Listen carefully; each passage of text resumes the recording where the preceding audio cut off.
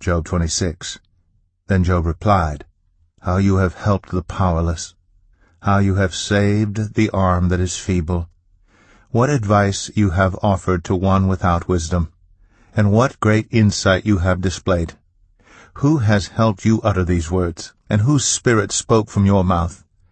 The dead are in deep anguish, those beneath the waters and all that live in them. The realm of the dead is naked before God, destruction lies uncovered. He spreads out the northern skies over empty space. He suspends the earth over nothing. He wraps up the waters in his clouds, yet the clouds do not burst under their weight. He covers the face of the full moon, spreading his clouds over it. He marks out the horizon on the face of the waters for a boundary between light and darkness. The pillars of the heavens quake, aghast at his rebuke. By his power he churned up the sea. By his wisdom he cut Rahab to pieces. By his breath the skies became fair. His hand pierced the gliding serpent. And these are but the outer fringe of his works.